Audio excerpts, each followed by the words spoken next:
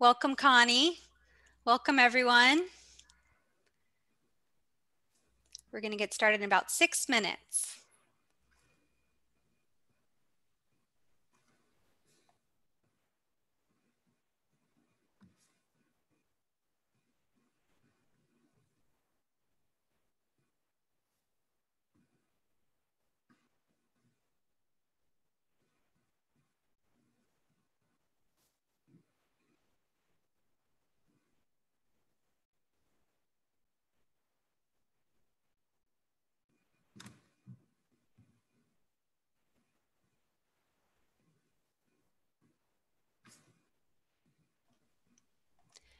And just so you're aware, this meeting is being recorded and everyone is on mute and will be muted throughout the entire event.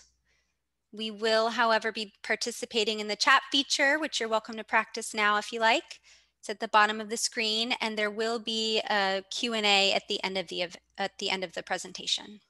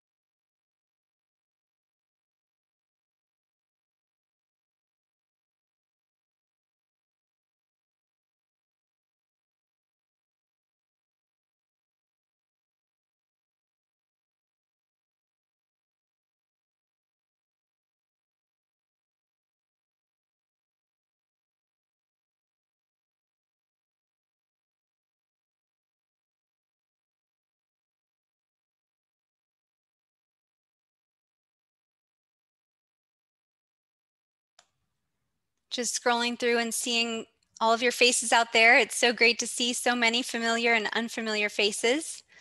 Welcome. Please feel free to turn on your video. It would be nice to see everybody's face if we can. If not, I understand you're in your pajamas, you've got popcorn. I get it. That's welcome too. you can turn on your video for that as well.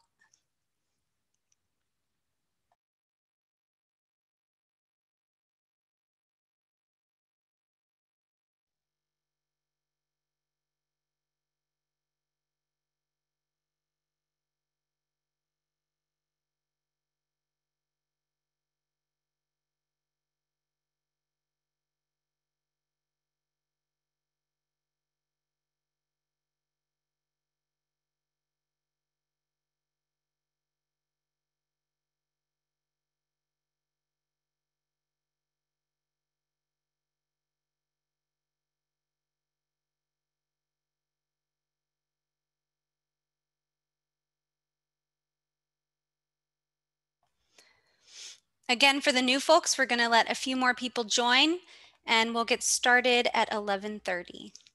Thanks for being here.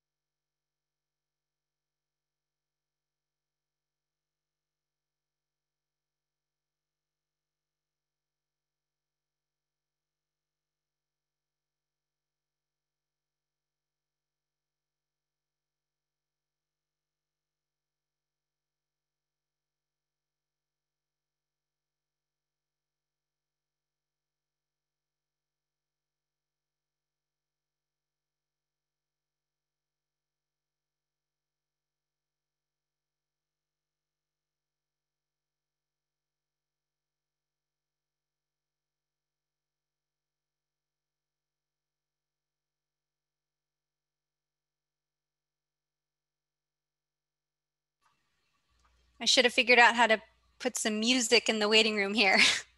it's our first virtual event, so we're still learning how to do some of these things. Thank you all. We'll get started in just a minute.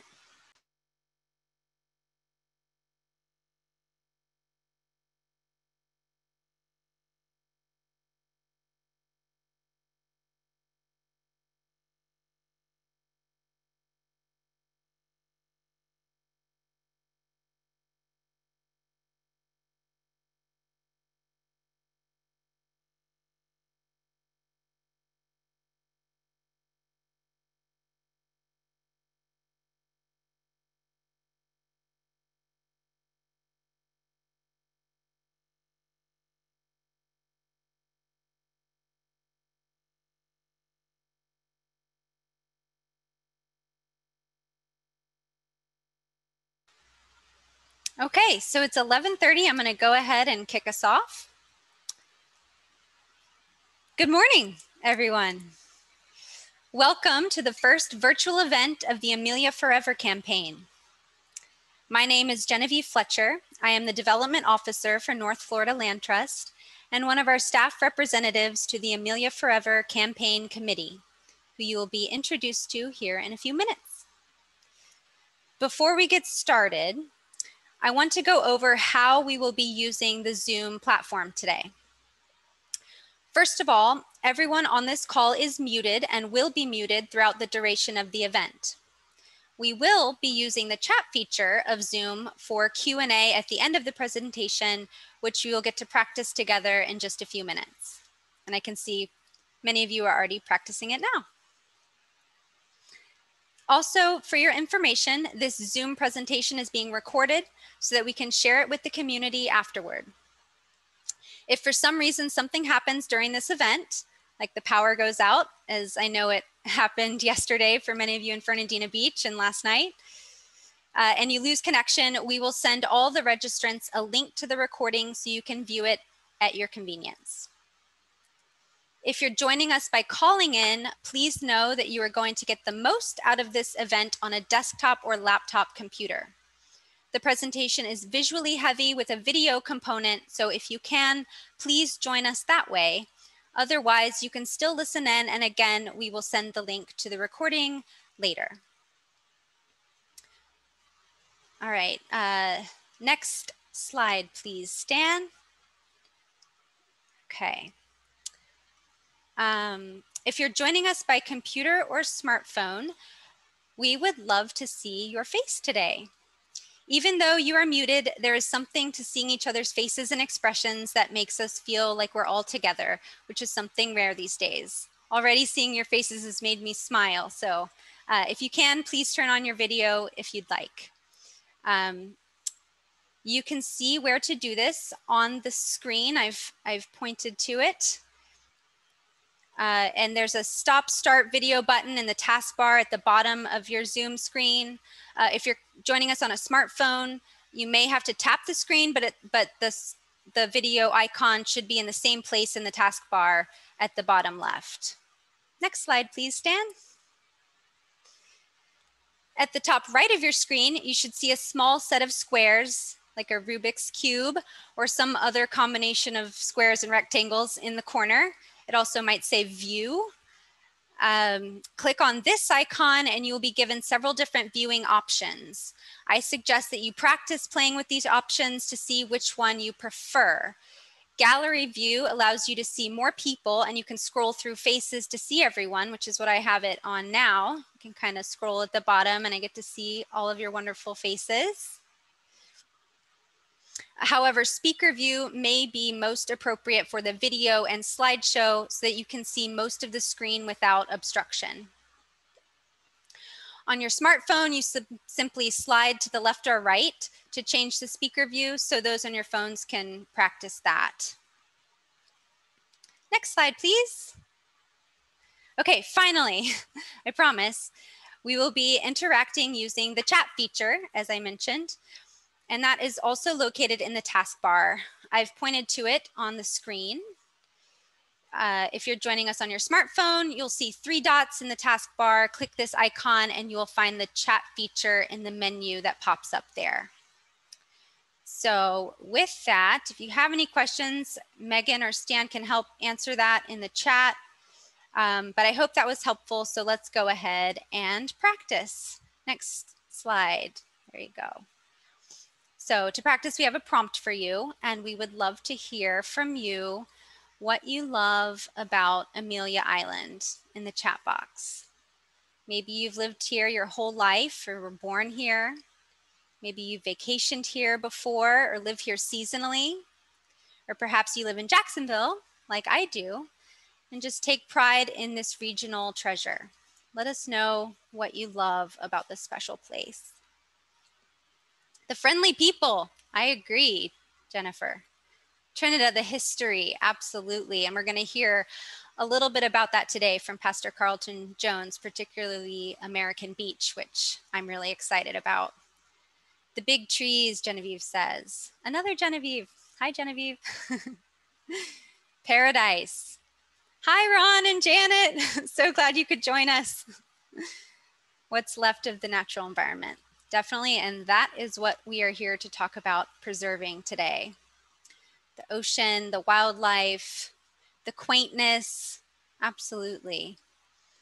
Amelia Island is a treasure. The trees are wonderful. Beach, shark's teeth. Hmm. I'm not very good at finding shark's, shark's teeth, so I admire that. Salt marshes, the ocean waves. Hmm. Definitely. Beautiful beaches. All right. Well, thank you guys so much for participating in that. That's such wonderful tributes. Uh, you're welcome to keep them coming, but we are going to move on to the main program now.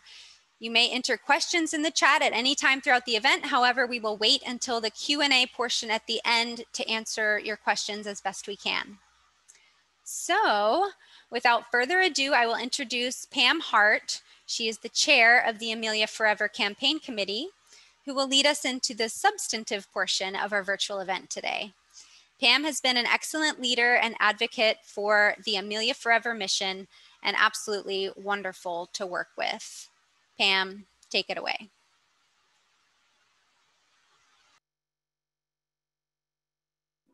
Can you hear me?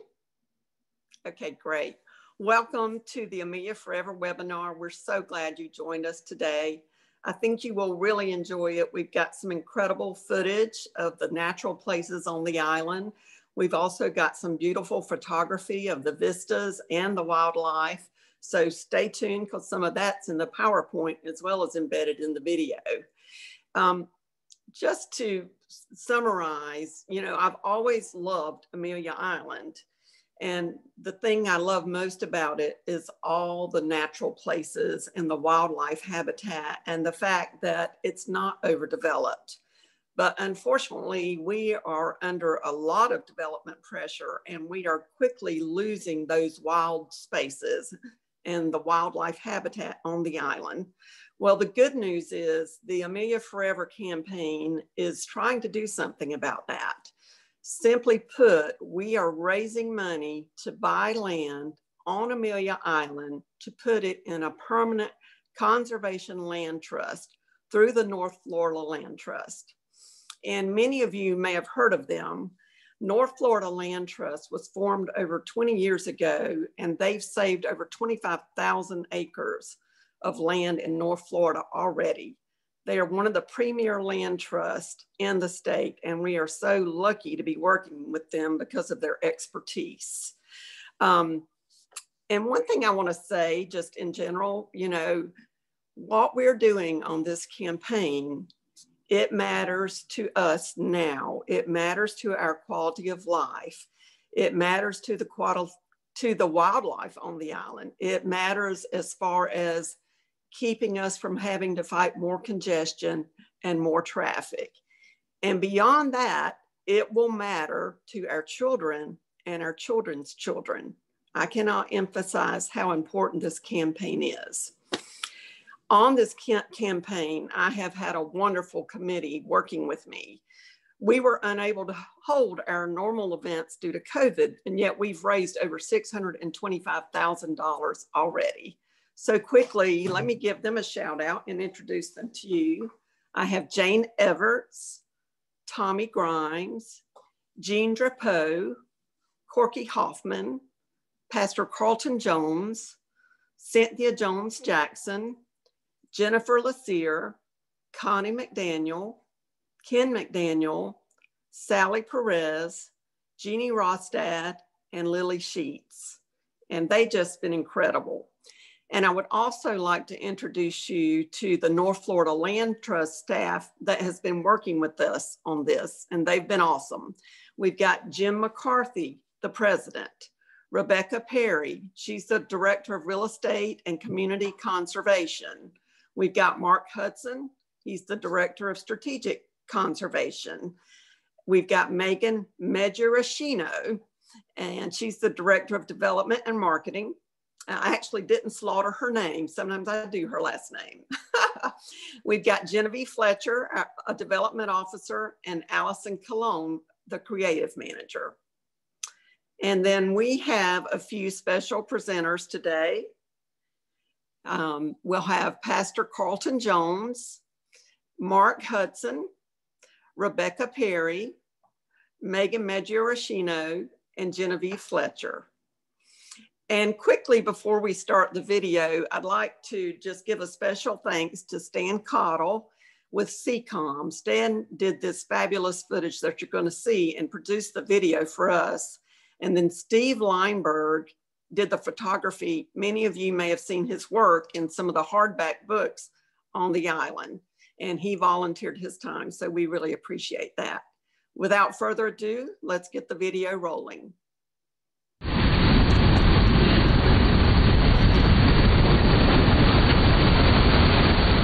Amelia Island is a stunning seaside community that invokes pride in residents and visitors alike for its unique combination of natural and historic features. Boasting an incredible tree canopy, proximity to the Great Atlantic Ocean, the calming marshes along the Intercoastal Waterway, a thriving historic center, and deep cultural heritage, Amelia Island is a slice of paradise. Yet with all the wonders Amelia Island provides, these natural and historic landscapes are disappearing.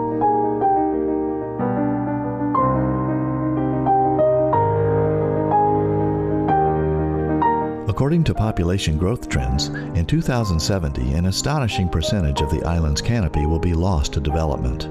In Nassau County, only 7% of the county's land has been preserved for conservation. The average Florida county is 29%. This puts Nassau County in the bottom 12 of 67 counties in the state. We must do more, and fast. As land becomes increasingly scarce, it will only continue to rise in value. The time to act is now. Thanks to the citizens' interest in pursuing conservation efforts on Amelia Island, North Florida Land Trust's existing partnerships with Amelia Tree Conservancy, the City of Fernandina Beach, and Nassau County burgeoned into Amelia Forever, a community-wide effort to protect the island's precious natural resources. In 2019, the Amelia Forever Committee was formed to launch a fundraising and marketing initiative to preserve lands in need of protection. The committee provides strategic direction on which properties to pursue and helps bring their conservation to fruition through garnered support. The goals of the Amelia Forever campaign are to preserve environmentally sensitive and historic land through a growing list of identified properties, involve the Fernandina Beach, Nassau County, and Amelia Island community in the campaign effort, provide education on the importance of preservation, create awareness around the future voter referendum to fund conservation needs, and show community support through advanced fundraising.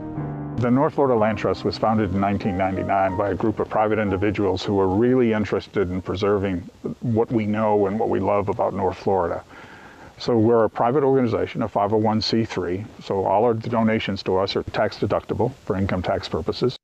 Our mission is to preserve the uh, natural resources, the historic places and working lands of North Florida through a number of different vehicles, either through the acquisition of property, where we hold it in fee, as they call it, where we actually own it, or we'll acquire conservation easements. Those are easements where the landowner actually continues to own the land, but we hold an easement so that we've governed what's going to happen to it and it remains in conservation in perpetuity. We often work with communities, what we call facilitated transactions, um, wherein a community or state agency, they want to park where they have some fundamental conservation issue, and we fill some gaps in terms of resources and knowledge to help that. And lastly, we also accept donations of land. There are a lot of people who either because they feel their land is special, want to make sure that it is a park forever, or oftentimes it's uh, businesses who are trying to meet certain environmental regulations or things like that will give us their land and we will manage it in perpetuity for the betterment of the, of the public. Uh, when we look for properties to conserve, we're, we're out there looking for the public benefit. So it was a natural progression for us to come to Amelia Island, and we're very excited about what we can do here to preserve this beautiful place. My dad was a World War II vet, and he always told me anything worth having is worth fighting for. And I believe Amelia Island is worth fighting for, and that's why I agreed to chair this committee. Nature's never closed, and it's not canceled. which is a wonderful thing. But if we don't preserve it, it can go away. And we have so much development pressure on this island that we have got to fight to save the wild spaces. We've raised enough funds that we've purchased two parcels. One parcel is on North 11th Avenue and it preserved a freshwater marsh. It's also on a high bluff and has a tree canopy. It's kind of an oasis in the city. The other parcel that we preserved that I'm so excited about because it's adjacent to the Greenway, we preserved 3.3 acres off Citrona Avenue. And if you're not familiar with the Greenway, it's just a gem on this island, so we are expanding that. One thing that we did in purchasing these properties with the city of Fernandina Beach is we put ownership in their name. However, there's a clawback provision in the deed so that if there's any question of the land not being used for conservation, it reverts back to us permanently at the North Florida Land Trust. That way we ensure it is always preserved. There are so many special places left to save. We've identified over 450 parcels on the island that we would like to preserve we need you to contribute now because honestly, we've never had more pressure for development on the island. One thing that's happened during COVID is that people have discovered that they can work remotely permanently. Also, people are fleeing cities due to violence and also they just want wide open spaces. We have that here, but we've got to save it. So please help us and contribute now. North Florida Land Trust and the Amelia Forever Committee have identified an endangered property on Amelia Island that we can save if we act now. The parcel comprises a maritime hammock forest that buffers and protects Egan's Creek Greenway to the west and the Atlantic Ocean to the east. Protection of this property will avoid pollution from septic tanks and runoff, save Amelia Island's treasured canopy, and protect wildlife such as wading birds, gopher tortoises, and bobcats. we have wanted to live here since, gee, 1975 or so. And uh, our businesses and our education and everything else was in Jacksonville. When that became obvious that we are going to be changing that, we got a chance to move up here, and we have. And we did it because of what you will see around us, the beauty of the island. Amelia Island is the first place that we came to. We have a lot of friends on the island.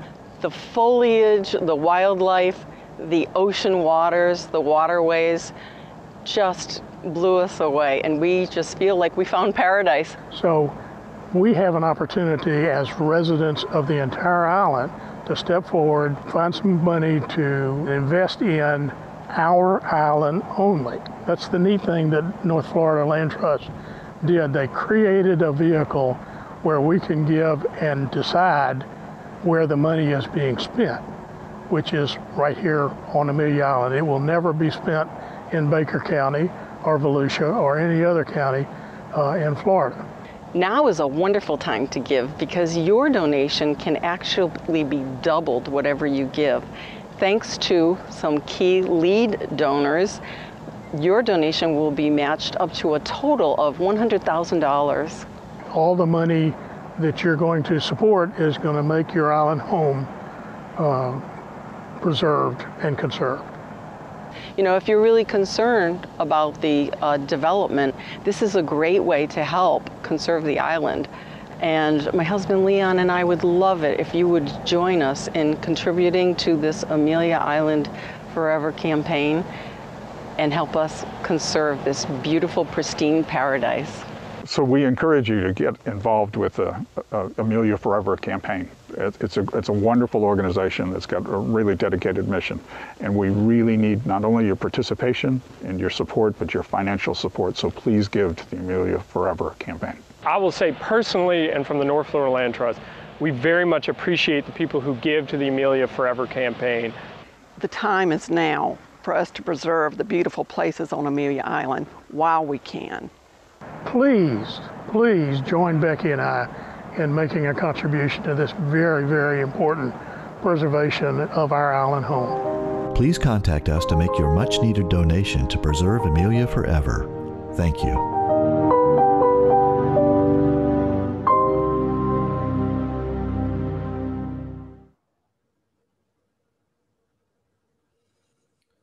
So hello everyone. I uh, hope you enjoyed the video. I'm going to carry the presentation forward from here. Uh, just to introduce myself, you saw me in the video, but I am Mark Hudson. I'm the Director of Strategic Conservation at North Florida Land Trust. And uh, it's been my pleasure up until this point in time to uh, be kind of a known face up there on the island in uh, working with property owners and working with the city and some other entities towards conserving some land on the island. And I'll talk a little bit more about how that works in a second. First off, though, just to introduce you to who we are, again, Jim, I think, said it on the video, but we are a private charity. We're not affiliated in any formal way with a government entity other than just the partnerships that we take on with them. And we have no responsibility except to our own board of directors. And much like Jim said, we are a charity. So we do survive on uh, charitable donations from the public at large. We were founded in 1999 here in Jacksonville. And our mission is to protect the natural resources, historic places, and working lands of Florida. So we're not most of our work, when you see it, is going to be that natural places category. Uh, we do take a lot of pride in what we do, that uh, both in preserving historic spots, and oftentimes those things align with natural areas, as well as working farms in other parts of uh, the county or even in other parts of North Florida.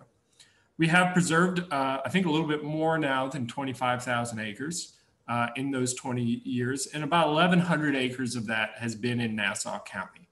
Uh, but we don't just work in Nassau County. We do have a 13 county focus area, but you know, again, home for us is in Jacksonville. Nassau County is right next door, and I think there's quite a few of us who would say that we spend a lot of time going to Amelia Island, uh, recreating on the beaches, enjoying the restaurants, checking out the trees, just like all of you do.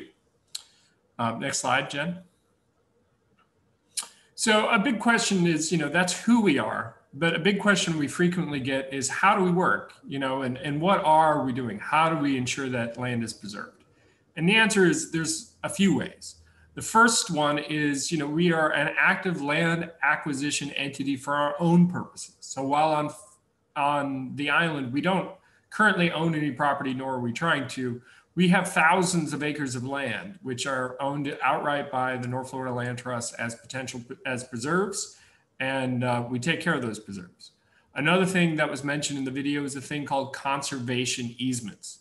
Conservation easements are agreements that apply to a property, uh, which um, eliminate all or most of the development rights on that property. So the property is still owned by the private property owner, but they um, cannot develop it. And oftentimes there's protections against other activities that would harm the natural resources. We said these are permanent agreements. So even if the property owner sells the property in the future or you know transfers it to their heirs, um, that agreement stays in place. So we know that that property is going to be in conservation forever.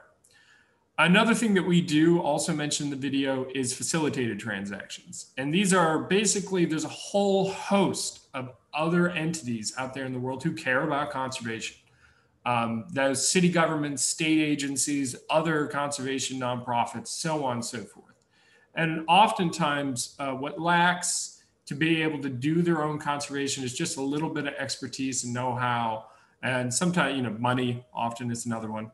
And so we do partner with a lot of entities. And the City of Fernandina Beach Partnership is an example of that, that has been working now for several transactions where we've you know, partnered up with a government entity and, working with them towards realizing their own conservation goals. And uh, finally, you know, you can't just acquire land. You can acquire land, but if you're a bad manager of that land, you know, a lot of the good that you've done in preserving it is wiped out by the bad shape that the property ends up being in. So, at least for the properties that we own, and uh, definitely encourage our partners on the facilitated properties. We are active stewards and we have a land management staff. That that's all they do is take care of North Florida Land Trust preserved properties. So that's how we preserve land in the immediate. Uh, Genevieve, could you change the slide?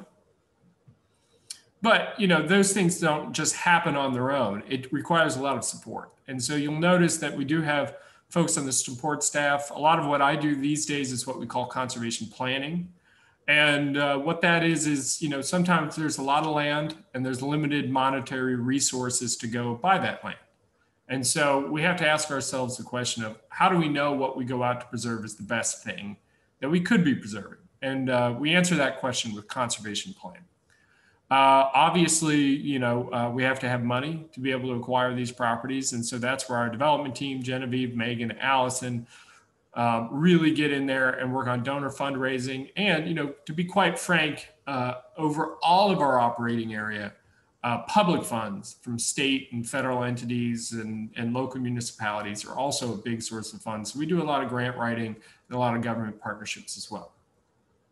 We want the public to know why we think the natural resources that we seek to preserve are important and uh, give them a little window on what we do at the North Florida Land Trust. We do do education. Uh, there have been numerous events over the years on Big Talbot Island, not very far away uh, on our Bogey Creek Preserve, and we're hoping on more preserves that we own in the future that there'll be public access opportunities for people to come and learn more about what we do. And so we always do encourage people to pay attention to our website, our Facebook, our Instagram for those educational opportunities as well. And finally, you know, uh, like I said, all this gets down to at the end of the day is that people need to know what we're doing and know that they have the opportunity to support important land conservation. So we also are marketers as well. We market ourselves. We market the natural resources that are available in North Florida. And we do try to make sure that the public's aware of the significance of conservation in North Florida. Uh, next slide, Jen. So that's what we do and how we do it. Uh, and then the more immediate question of how do we do it on Amelia Island? Um, because everywhere we work, there are different natural resources, there are different communities, there are different uh, funding sources. And so, how does that all mix and match in the Amelia Island landscape? And I will tell you personally, I came to work for the North Florida Land Trust eight and a half years ago. And when I did that, you know, one of the first places I actually came to visit was Amelia Island. And even then, it was, it was pretty obvious that the island was close to being built out. And by built out, what we mean is, frankly, that all the undeveloped lots are pretty close to being developed. And once a, a place is built out, it's very hard at that point to create conservation natural resources. You talk about buying buildings and tearing them down and going through intense and very expensive restoration. So it was pretty obvious that the last opportunities to conserve land on Amelia Island were now. Um, but it's not an easy market for us. You know, to be honest, if we leave the Amelia Island environment and you look at the other acquisitions we do, probably 80% of the money that we get for those acquisitions is coming from some government source. But to be honest, government, those government sources of funding are not readily available in kind of urbanized environments like Amelia Island, where you have a lot of people. And A lot of them focused on big, what we call big, wild, and connected, a couple thousand acre properties we can purchase. And so it was a very hard environment to work on our own. And we were really looking for a catalyst, a change agent. Uh, we did some other things. In the meanwhile, we did work with Amelia Tree Conservancy and helping them getting established, knowing that there'd be a local group that had eyes on the ground and could keep better track of the issues.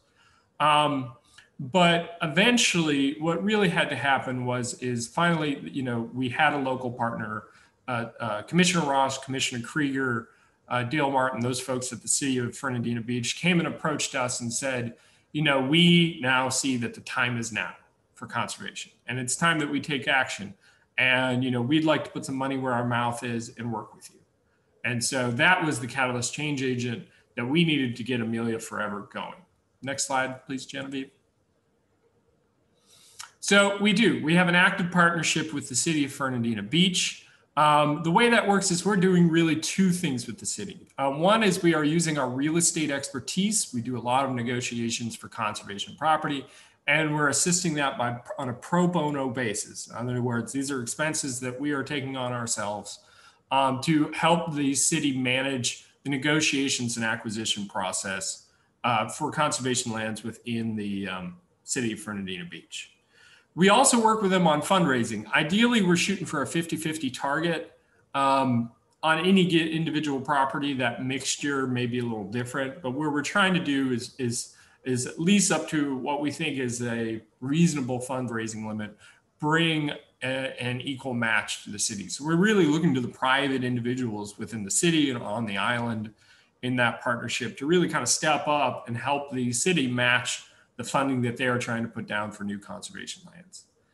Um, and so uh, other than just the acquisition and fundraising, the big question that I get from a lot of people is, okay, once it's preserved and it's owned by the city, what then? And the answer is, is we have taken steps and ensuring that at least with the money that we're bringing to the table on these acquisitions, that we have our own guarantees that that land is going to be preserved in perpetuity. And the way we do that is a deed restriction. And that deed restriction limits each of these properties to conservation and passive recreational use. Passive recreational use being defined as um, basically just very minimal recreational activities, trails, trailheads, interpretive signage, little benches, no ball fields, no playgrounds, that kind of stuff, um, is really the most intensive use allowed. And if, you know, a future commission, like I said, we have a great relationship with the current city government, but if a future commission decided to try to violate those use agreements, yes, North Florida Land Trust would then have the legal right to claw that property back. In other words, we would come in and say, you have broken the rules and this will be our nature preserve now.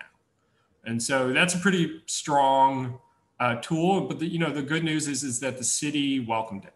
Um, I think they saw the value in, in being credible and in letting the community know that these will be conservation lands going forward. Thanks. Next slide, Jen. So, you know, the next question is that's the city of Fernandina Beach. What about the rest of the island? And, you know, the answer is, is we get back to that. It's still hard environment. Um, but knowing that we can get some things done in the city, we really went out and hoped uh, that the remainder of the island would step up and help us achieve some conservation acquisitions on the remainder of the island. And that's really where the Amelia Forever campaign was born, was is that we knew that where rubber hit the road for the remainder of the island, we would have to bring private dollars to those properties.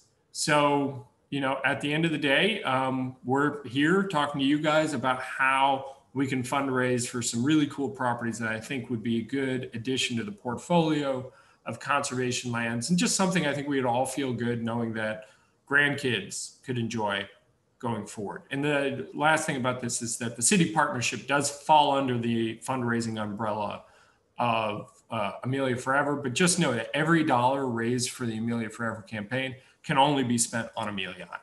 Next slide. So, what makes a good project, right? Because um, we can't afford to pursue every potential property on the island. We have to be selective. And we also have to know that the properties which we can realistically acquire are the ones that you, the community, will financially support. So, the biggest thing is it's got to be a natural or cultural resource on the island which tells a story about Amelia Island, about the natural resources. And that story could be a number of things. You know, it could be that there's a rare and endangered animal that lives on that um, particular property, and that's something that people care about. It could be that it's just a property that's woven into the history of the island that, you know, significant events happen there that we think that because those significant events happen in a natural area that future generations should be able to understand that context to know how that island grew, how this island grew up, and and how we got there. And so those are the kinds of storytelling opportunities that make for a good project.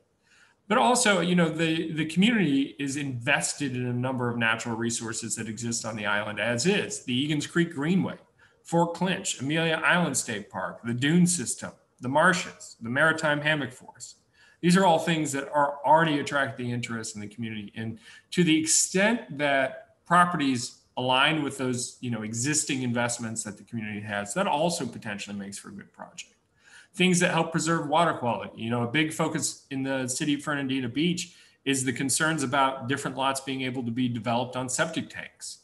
And so which would harm the egan's creek water quality. And so sometimes what we're doing is about the natural resource sometimes it's preventative um, species conversation, recreational opportunities kayak launches things like that historic value, all these things. And even, you know, is there just a general question of, you know, is there a part of town which has no park that people can walk to? And do we have a responsibility to ensure that they can? So these are all kinds of things that we look at. At the end of the day, when we talk to the Amelia Forever campaign um, committee, the question we ask ourselves is, can this be community supported? And that's really what makes a good project. Next slide. So um, let's talk about what we have done. So the first thing that we did, and was really the nexus of the initiation of the community partnership with the city, was the Episcopal, what we call the Episcopal and Floyd tracks. These were about seven and a half acres located just north of the historic downtown um, that were up for sale and we're the potential for development for several homes. They have a, what we call a mesic hammock forest and a small freshwater marsh, which is really interesting to me because those are really important to migratory birds and other things. Uh, it was identified with the city, and we went out and negotiated the purchase and fundraised for half of it and got that one socked away at the end of last year. And so we were pretty excited to get that inaugural acquisition done. Next slide, Jen. After that, there was the Dodd Tract. Um, this was a three acre property that sat right on the Egan's Creek Greenway. You know, again, this is about one of the things we like about it, it has a nice section of hammock forest on it. Um, but again, also, you know, it could have been turned into a home or two. And, you know, right there, that's a, along Citrona Road. Uh, at the time, anyways, you were allowed to build a home on septic. You didn't have to put it on sewer and we were worried about what that would do to the water quality in Egan's Creek and everybody's enjoyment of the Greenway. So this was another one that was identified in partnership with the city and co-fundraised on a 50-50 basis and purchased and is now part of the city's holdings for conservation. Next slide. One that um, we're excited to say should be closing very soon, as in the next couple of weeks, is the JR Holdings property. Um, now, this is a property kind of off uh, John Lafitte uh, and or Fletcher. And so this actually not only is an addition to the Egan's Creek Greenway, but what is not showing up on the map there is there's actually a uh, another conservation parcel that connects them in between. And we think potentially some other parcels nearby that we can do to add on to this. It is an actual maritime hammock forest. It is um, shaped by the salt spray that comes off the ocean. And this is a rare and globally declining habitat. So these maritime hammock forests are just critical to preserve. And we think though, you know, really it's going to require the community's input as to whether or not this is a thing. Uh, it does create the opportunity for a trail access that goes from John Lafitte out towards the beach. And that is also another cool future potential uh, opportunity with this property. Next slide. And the last one before I uh, introduce my coworker and colleague here is one that we are hoping to bring to the city commission for another purchase here really soon and get under contract. And this is the Pheasants Run property. This is 5.3 acres. It's not directly on the Greenway, but it is on a small tributary that goes right into the Greenway. Uh, it's a mesic hammock forest, but I think, an, again, another big motivator there is this property is one that can be developed on septic tanks um, and you know, the septic tanks anywhere from 11 to 16, depending on how it would be developed. Those septic tanks are potentially very harmful to the water quality of Egan's Creek. And so this one, you know, even though it's not on Egan's Creek, um, it's pretty critical and important that we can kind of lock up some of these properties that guarantee the water quality of Egan's Creek going forward. So um, that's the last of the slides that I have to present, I believe, Genevieve. That being said, um, I would like at this point to introduce my coworker, Rebecca Perry. She's the director of real estate. I've um, actually changing to help with these long use planning. How do we plan for conservation on Amelia Island and other places here going forward? And Rebecca is going to be the known entity in terms of managing these real estate negotiations going forward. And so I leave it to Rebecca to tell us what's next. Awesome. Hello, everybody. Mark, thank you so much for that awesome breakdown of everything that's happened so far. This campaign has done some amazing work. Um, and I am really excited about this next opportunity that we have to protect a delicate habitat in the historic town of American Beach. Um, the property is called Little Nana Dune, and it is important for its conservation value, but also for its historic significance. So to tell us more about that, um, is Pastor Carlton Jones. Um, he's the president of the Friends of American Beach, and he's just going to give us some more of that history and tell us why this place is so special.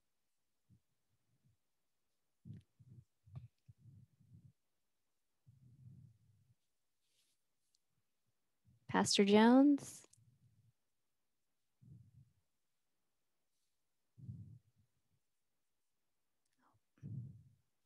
Hello.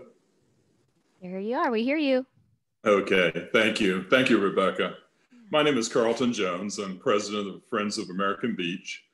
Uh, American Beach is on Amelia Island. It's really a special place. Um, what can I say? American Beach was uh, founded in 1935 by the Afro American Life Insurance Company and its president, Abraham Lincoln Lewis.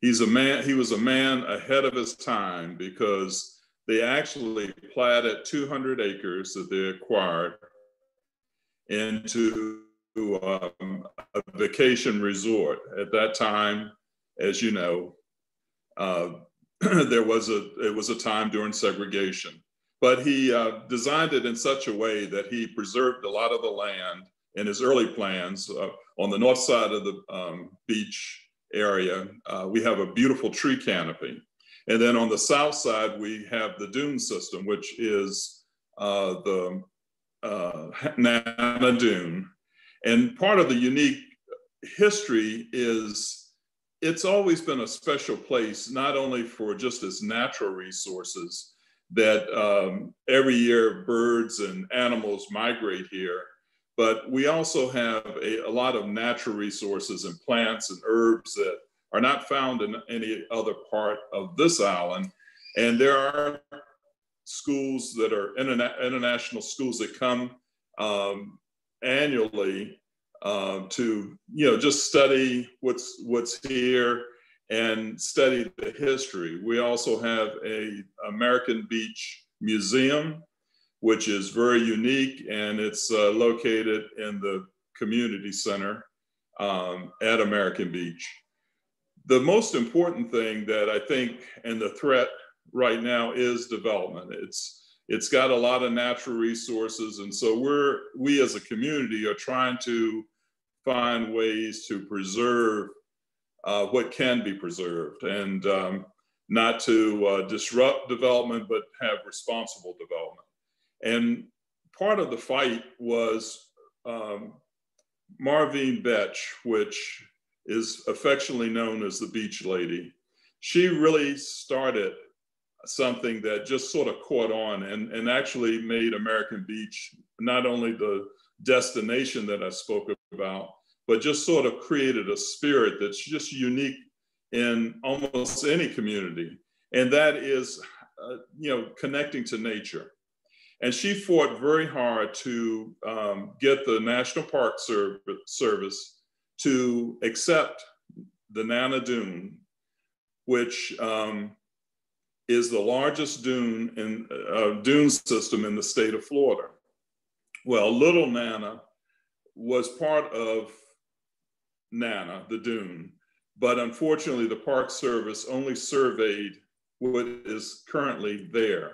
And so it, it takes an act of Congress literally to resurvey it and, and to bring it back into the uh, Nana Dune system. Well, Little Nana is located on the south end at Burney Road and Ocean. Now that dune has grown. It's an active dune that has grown to 46, over 46 feet in height. And so it's also had, has a tree canopy on the backside of Ocean. And this is an opportunity to uh, preserve uh, something that does have living habitat and also uh, plants that are in the uh, foliage and the canopy that are unique.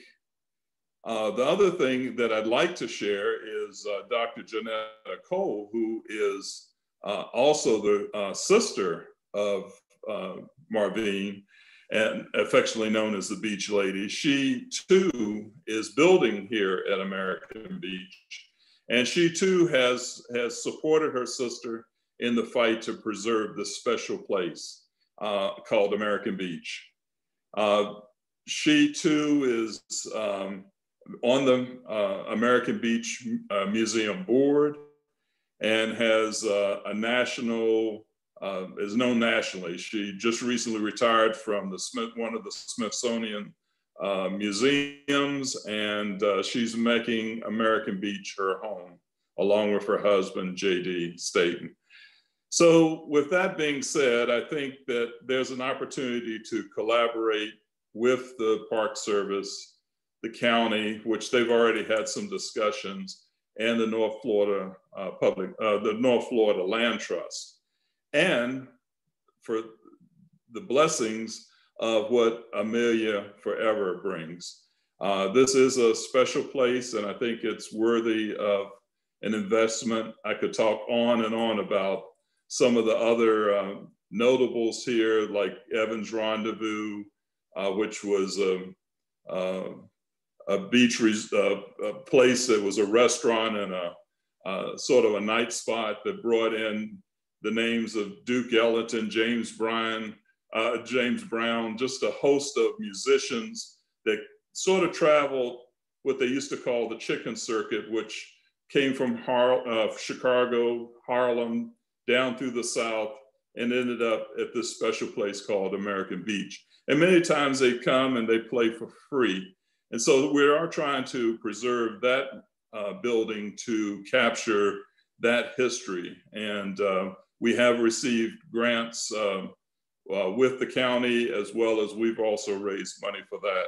But right now, today's discussion is saving Little Nana Dune, which uh, we would like to see uh, continue to grow and to be part of NANA.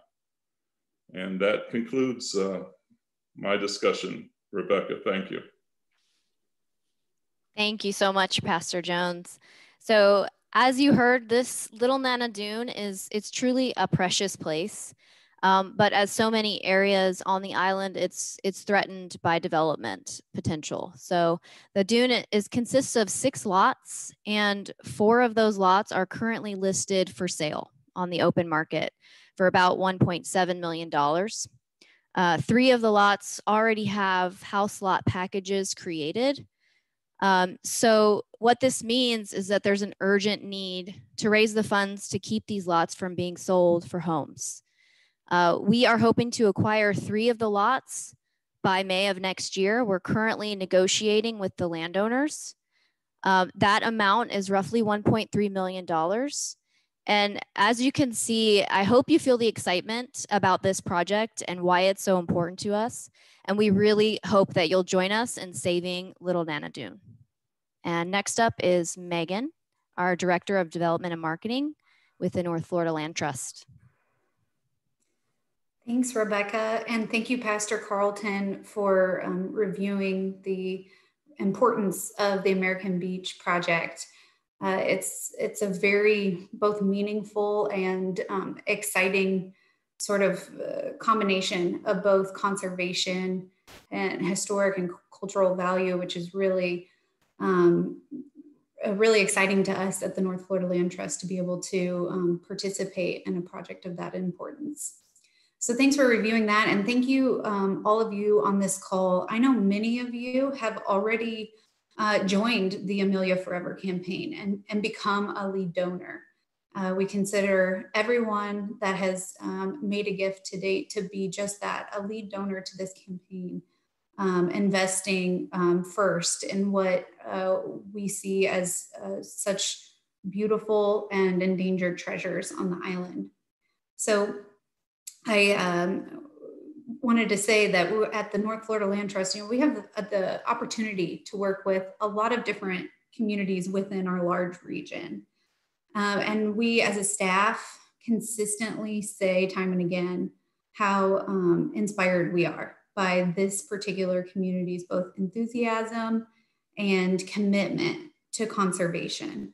It's really unmatched. And I think it's something that um, really has helped us um, move quickly and with a lot of um, gumption and what our upcoming uh, goals will be because we are so encouraged by what we've seen so far in terms of uh, fundraising support. Next slide, please. We have many, many donors already, and I am just so looking forward to seeing this list continue to grow. We um, as you know, have uh, we've launched and really in earnest sought support for this campaign during a really unprecedented time And so looking forward to seeing how that could, um, as, as things kind of level out for all of us, how this will continue to grow. Next slide, please. As a, next slide, please. Might have a delay here. Thank you. Um, so as a, a, oh, sorry, one before. um, so as a kind of recap of where we are from a fundraising standpoint, we've raised just about um, $623,000, as Pam had mentioned. Um, our total need for all of the projects that we've talked about today is 1.87 million.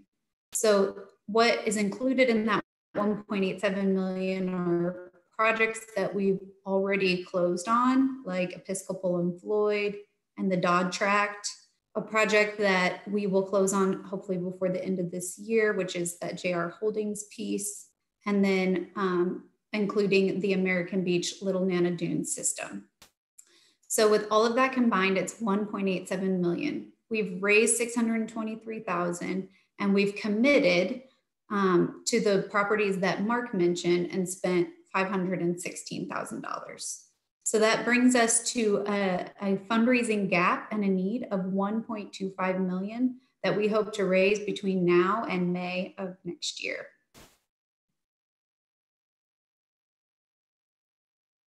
And with that, I'm going to turn it over to Pam.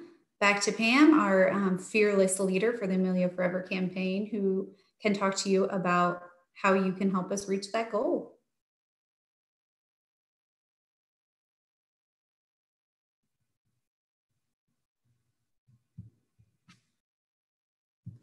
Can you hear me?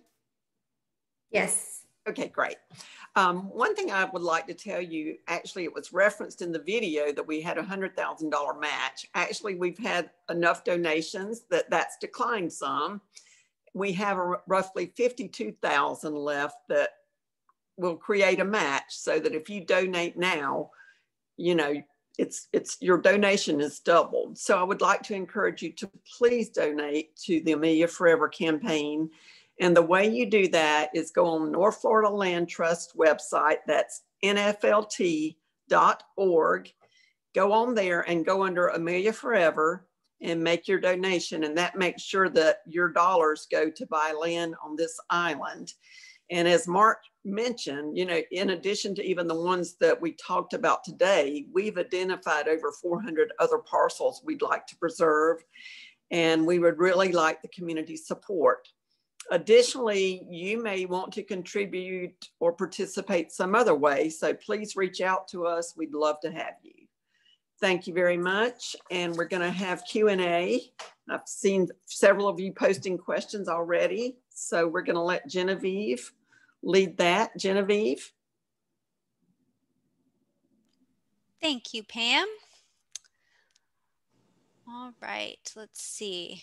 And if I can get, I'm going to unmute all of the presenters so that you can uh, join us to answer questions. Let's see, Mark. Megan, can you unmute Mark? Sure, yeah, absolutely. Okay, so I saw some questions come up earlier, so I'll start with those. What contingencies are in place or needed for community support to expand existing historical cultural preservation of the island resources? For example, Nana Dunes, American Beach. I think the answer is, and uh, we have just started discussing this, but uh, we I just a couple weeks ago started talking with the city. And but this would be something that we would hope to apply to the whole island to doing what we would call a strategic conservation plan for the island. That kind of plan allows us to look at a bunch of different things natural resources water resources so on and so forth. But one of the things that we would do an in-depth analysis and try to do some community input is uh, historic and cultural resources to ensure that we're really kind of looking at that um, in a comprehensive way when we approach uh, our potential acquisitions. Thank you, Mark. Do the potential effects of recognized global climate change on the local environment in particular sea level rise on Amelia Island, affect your analysis of which available properties for conservation should have priority? So Another the, one for you, Mark. yep. So the answer to that is um, we did do kind of an initial, uh, uh, what I would call a preliminary strategic conservation plan for the city of Fernandina Beach. So not the whole island. In that case, we did look at storm surge data, sea level rise data, and different forms of flood mapping to try to make sure that we had a better, a good understanding of how conservation lands can help also be mitigation for those impacts. Um, that is something that I would expect that we would review as well and potentially even add another couple facets to it when we do a comprehensive plan for the island. Thanks, Mark. Johnnetta Betsch Cole asks, can one designate to a specific project, such as to preserving Little Nana? Megan? So uh, yeah, I'll take that. Um, so the answer is uh, yes. The Amelia Forever campaign, if we um, uh, accept any donations, as you know, they'll be used on all of our um, current slash future projects. In this case, with um, uh, Little Nana being our next project. So um, a gift to the Amelia Forever campaign is a gift to that project. Um, you are welcome to uh, further clarify that you only want it spent on that project. And in any case, if there's ever a point in which we're fundraising for a property and for some reason the, the acquisition of that property falls through and you've dedicated it directly to that one property, then at that point we would um, contact you and um, give you the option to either designate your gift to another project that we're pursuing as part of the campaign or we can return it. Thank you. And that kind of rolls into another question. How does NFLT prioritize which property is purchased first? So the answer is, is that we are just uh, very practical, to be entirely frank. I mean, when the Amelia Forever committee meets, there's a list of potential projects that is presented. These are ones that we are working on or are new and there's a ranking process that happens and frankly the, what we look at is we as the staff review what the natural resources are the significance in each case in terms of impact of the environment cultural histor- and historic preservation. And then really because for these projects we have to be able to find private donor dollars. Unfortunately the ones um, that are the most attractive in fundraising context are the ones that win. Uh, that being said that's why community support and understanding of community support and really this public input based plan that we do next year is going to be so important. It helps us um, really define what is uh, is most important to the community and therefore most likely to be financially supported. But we do have to be practical that the ones that we can get done are the ones that we can bring money to. And those are the ones that are first in line. Thank you, Mark.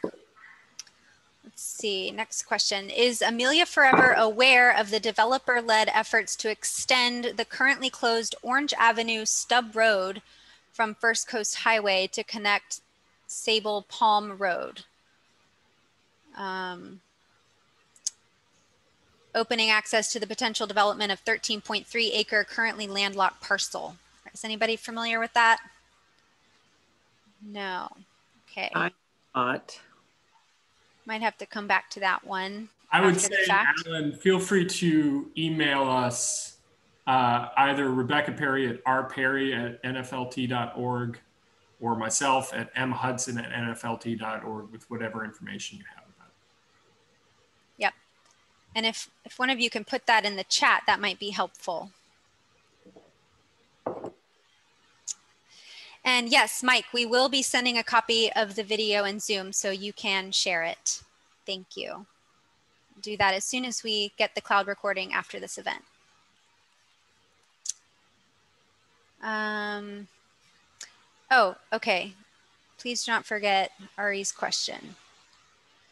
To whether or not, let's see, to donate to the, oh, the Fernandina Beach Fund. There's some confusion about having the two funds between the city's fund and the Amelia Forever Fund. Um, Do you think one of you can take that? Maybe Megan? Sure, yeah. And Mark, feel free also to jump in uh, as needed. Um, but so yes, you're right. Those are two separate funds. The um, City of Fernandina Beach's Conservation Fund that had the um, private uh, match as well is um, is just that. It's the City of Fernandina Beaches and would only be contributing to City of Fernandina Beach properties.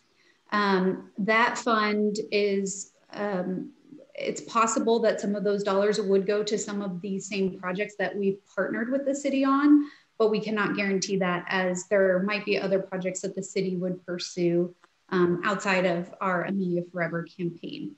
So um, any gifts to that fund would be for city only projects. Gifts to the Amelia Forever campaign fund um, would be um, would be spent on any uh, current or future city partnership uh, properties that we are working on, but would also be utilized um, on other aspects of the island outside of the city of Fernandina Beach city limits. So um, Little Nana Dunes being the large um, example right now um, and our you know largest kind of fundraising project. Um, gifts coming in would be spent there um, versus on a, a, city of Fernandina Beach uh, property.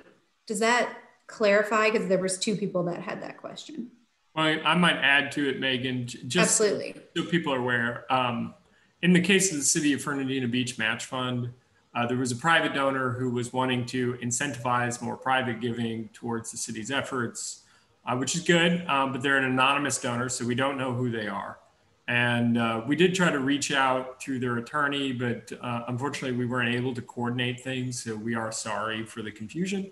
Um, but yes, and I think there was another question that that match uh, offer with the city fund, I think, does expire soon in terms of being able to capitalize on all that match funding. Um, but yeah, I mean, ultimately, they're very similar goals they're trying to go to. I think the other thing to understand is that city fund that the money is going to is actually initially established for cities operating funds to go into that. So this is uh, kind of an addition to those funds. Um, but otherwise, Megan's clarifications are the correct ones. But yeah, we've gotten a lot of questions about confusion about that. We've tried to figure some cohesive message out, but we, like I said, haven't been able to get a hold of the donor. Thank you both. Uh, Vernal asks, does the fact that the ocean dunes on American Beach are being destroyed by vehicles, particularly large trucks, affect your conservation plans for this community? The destruction of those dunes will lead to the destruction of American Beach. Thank you. Uh, I'm, I'm going to take this and also wrap in another question, if you don't mind, Jen, that I saw that happened sure. about percentage of the island that is going to be preserved because this kind of neatly ties into both ones. Um, both to the person who asked, you know, is there kind of a magic percentage of the island that needs to be preserved, or you know, even getting towards the dune ecosystem and how to assess that for conservation. When we do these kinds of things, these percentages are good benchmarks to understand, but what we really do is look at a thing that we call the green infrastructure. And the green infrastructure are the natural and environmental resources on the island that must be maintained for the island to be a healthy place. So there's not necessarily a magic number, there's just a magic number of resources. So, you know, we are limited at the North Florida Land Trust in that we are, our primary tool is acquiring land. And a lot of the issues on the beach, by way of example, that's public land. So, you know, that's that's really kind of a discussion between the community and the public landowner, which is, you know, the city or the government or the county or the state of Florida in most cases. Um, but that being said, to the extent that we can acquire private dune lots that help with the reinforcement of the green infrastructure of, you know, all the resources that the dune provides us in terms of storm surge protection, wave energy, habitat, and frankly, I think it's an important aesthetic part of the island as well. Um, that will be assessed as part of kind of a green infrastructure planning. And so that would be looked at equally to the significance of buying land along Egan's Creek to maintain the water quality um, and, you know, what we have to do to preserve other natural resources. So not a magic percent, not a single issue like Dune or, or the creek by itself. We want to look at a comprehensive view of the infrastructure, the green infrastructure on the island, and then try to address that uh, in the places where it's the most important. Thank you. And also too, our, you know, once we do acquire land, it's the responsibility of North Florida Land Trust, particularly our stewardship department to make sure that that land is protected. And sometimes that might mean, you know, um, neighborhood watch, having good relationships with the neighbors of a certain property, um, sometimes getting law enforcement involved if there's trespass, that kind of thing. So, um, as Mark mentioned earlier in his presentation, um, once we own land, we're responsible for keeping that land intact for the public benefit. And so that can mean a lot of different things. Okay, next question. Uh, does NFLT work with or get any tech or financial assistance from the Nature Conservancy? And have we investigated that? I can take this one. Okay. Genevieve. Um, yeah, so uh, the Nature Conservancy, as you all probably know, is a global nonprofit organization. I worked there for 15 years prior to coming to the Land Trust. Um, what I'll say about that is that we are a regional land trust. So we have the ability to focus on small areas like this that really matter to the community. Um, and we absolutely will partner with other nonprofits um, if they want to participate in the campaign. Um, we have the Nature Conservancy has actually reached out to us asking about Amelia Island. Um, and basically, uh, we let them know that we have this campaign running. And um, you know, my colleagues over at the Nature Conservancy were happy that we were working in this area. Um, there's other land trusts that we've also reached out to. So we absolutely would work with anyone that wanted to participate. Thanks, Rebecca. Um, Betsy's asking if the city match expires this month. I think that was kind of regarding what we were discussing earlier. Are you, is that true, Mark? You're nodding your head, yes?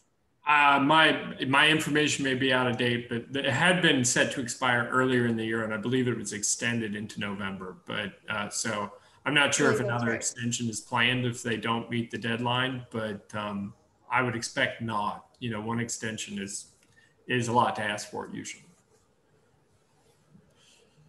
Okay. Nassau County Planning is hosting a meeting at Burney Park at one o'clock this Saturday regarding the Sable Palm Road issue. So we can uh, follow back up on that. Mark says 100% of all undeveloped parcels need preserving. we agree.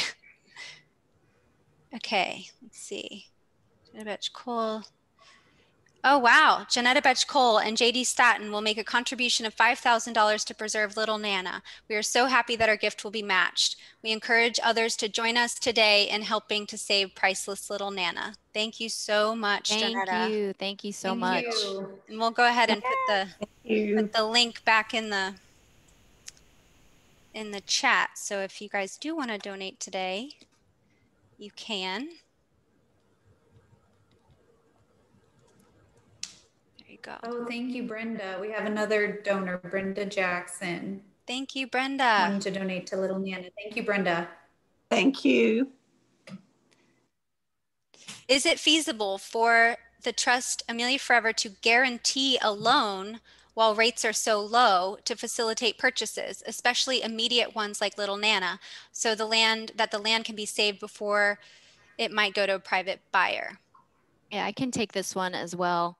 Um, yes, there is an ability for the land trust to take out a loan. Uh, but just as if you were taking out a loan, you look at that very, very carefully in terms of interest and your ability to repay it. Um, there are very specific loan programs for conservation properties. Um, so we are always looking at potential options.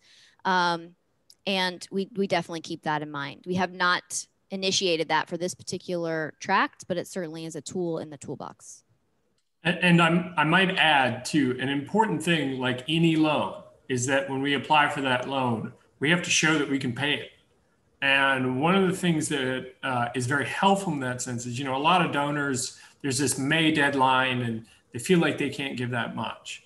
Well, with a loan, being able to do what we call a multi year pledge, which is you pledge money for multiple years going forward. You may not be able to give us a lot of money in any one year, but if you can do that over time, we can then show the lender that we have the ability to repay with those loans over time. So contributions over time are also a big deal because they help us with exactly those kinds of acquisition strategies.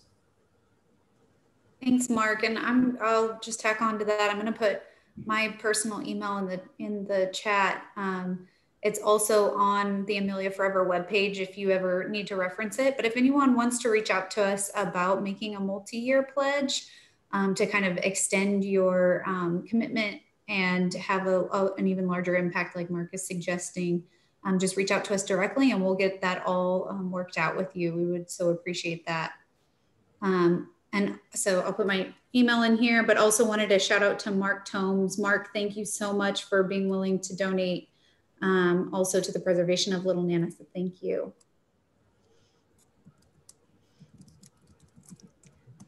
Do we have any other questions for the panel?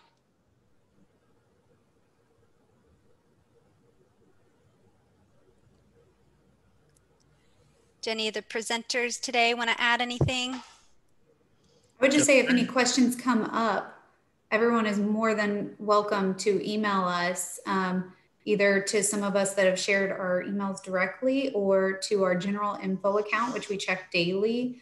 Um, and we're more than happy to answer any questions that that come up for you after you've kind of digested everything we've shared today. Uh, Ari asks, do you have a way to set up monthly contribution auto pays for those who can't afford lump sum contribution? Yeah, absolutely. Thank you for asking that. So we do, if you go to the donation page, when you go to nflt.org slash Amelia Forever, you'll see kind of that donate button right there. Um, click on that and there's a, a really simple way in the form to make it a monthly contribution. Thank you, Mark. So glad you enjoyed it. Any other questions before we close this meeting out? Thank you, Cassie. Glad you could join us. Okay. We're also um, one last note. I just um, want to say that if if there's anyone that you feel um, would benefit from hearing about um, Amelia Forever that wasn't able to join us today, we please encourage you to to share out the recording once you receive this. Help us spread the word because um, that's you know word of mouth is really i think how we're going to get this done. And that goes for any foundations or businesses that you might be associated with or know someone at that you think might also be interested in getting behind the campaign. So we appreciate your help and and and helping us spread the word and finding more people that would uh, be inspired to donate. Yes and if you're interested on uh, in getting involved on a deeper level, you can also contact us and we welcome you on the Amelia Forever committee as well. So just let us know. Let's save Nana Dune. I agree. I'm so excited. this has been such great energy. Thank you guys so much. I just close by thanking our presenters today for all their hard work, not only today and leading up to this event, but for all they have dedicated to Amelia Forever and protecting this precious resource in North Florida. Thank you to the Amelia Forever Committee, all the incredible donors and volunteers, and all of you today on this call who show an interest in preserving Amelia Island and the natural and historic integrity it offers our region, nation, and world. Have a wonderful day and we will be in touch. Take care. Thank you. Thank you. Thank you. Bye-bye.